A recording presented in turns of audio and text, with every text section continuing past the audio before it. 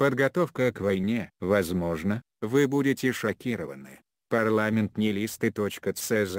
Чехия. 1 апреля 2018 года. Эксклюзивное интервью порталу парламентнелисты.цз одного из самых успешных разведчиков советского блока Карела Кахира по самой острой теме последних дней парламентнелисты.цз.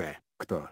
По-вашему, совершил это покушение на бывшего двойного агента Сергея Скрипаля? Карел Кахир. А было ли вообще покушение? Вероятно, вы будете шокированы. Но есть основания сомневаться не только в том, что это покушение связано с тем, что Скрипаль был двойным агентом, работавшим против своей страны, но и даже в том, что покушение было как таковое. А что если Скрипаль был не жертвой нервно-паралитического вещества, которым на него воздействовал кто-то, а его поставщиком в запланированной преступной сделке, например, с террористами. Сделки, во время которой произошла утечка новичка из-за неосторожного обращения с контейнером, в котором он транспортировался, или намеренно была совершена попытка ликвидировать Скрипаля, чтобы заказчик не платил ему обещанное вознаграждение. Все это может показаться невероятной спекуляцией, но задумайтесь о том, кем был Скрипаль.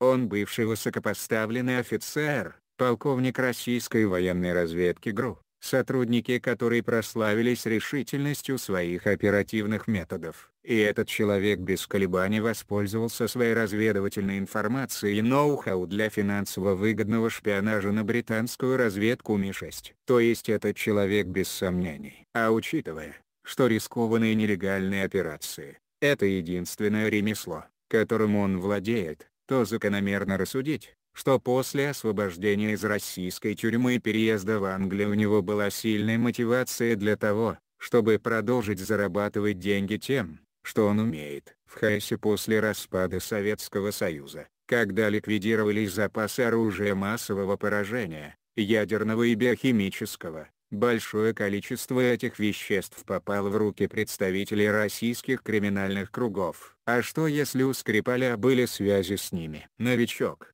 по-видимому, является веществом чрезвычайно опасным даже в малом количестве. Поэтому даже небольшой контейнер может представлять большую угрозу, но и быть очень выгодным для поставщика. Конечно, есть и другие возможные версии произошедшего, помимо официальной британской, согласно которой покушение совершили российские агенты по приказу какого-то российского руководителя, в том числе самого Путина. Можно допустить, Например, что на Скрипаля напал один из его бывших коллег по ГРУ, который решил взять справедливость в свои руки, потому что не мог смириться с тем, что Скрипаля освободили в ходе обмена агентами, и теперь он припеваючи живет в Англии. Это полностью соответствует незыблемому патриотизму и категорическим нормам чести принятым среди сотрудников ГРУ. Но слабая сторона этой версии в сложности выбранной месте с помощью такого труднодоступного и очень опасного для исполнителя вещества,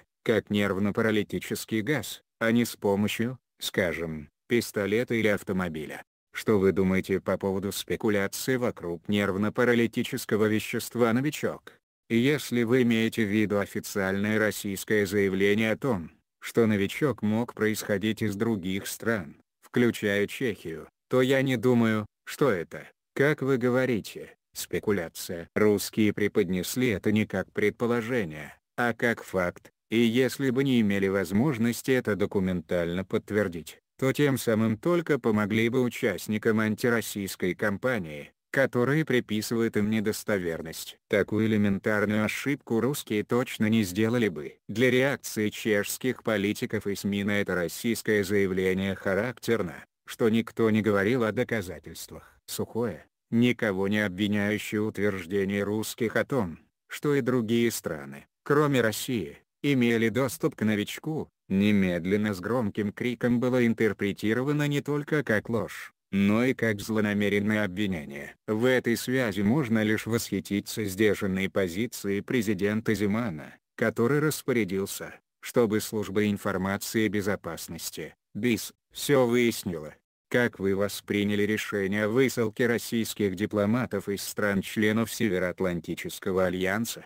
По-моему, подавляющее большинство высланных, если не все, пожалуй, кроме российского посла в Польше. Хотя даже в его случае с полной уверенностью и не скажешь, на самом деле были агентами по дипломатическим прикрытием. Когда высылают из-за конфронтации государств, то, понятно, избавляются именно от них. Если вы думаете, что трудно выяснить, кто является настоящим дипломатом, а кто разведчик по дипломатическим прикрытиям, то вы ошибаетесь. Подобные вещи спецслужбы даже не пытаются скрывать, поскольку по истории прошлых должностей данного человека и того, как он ведет себя в стране, где работает, какие контакты налаживает, можно все понять и быть почти на 100% уверенными. Когда я работал в ЦРУ, то у нас для выявления разведчиков в посольствах стран Советского Блока была даже инструкция. О моем восприятии этой высылки я скажу так, я вижу в ней целенаправленное намерение значительно ограничить разведывательные возможности российской службы внешней разведки. По-моему,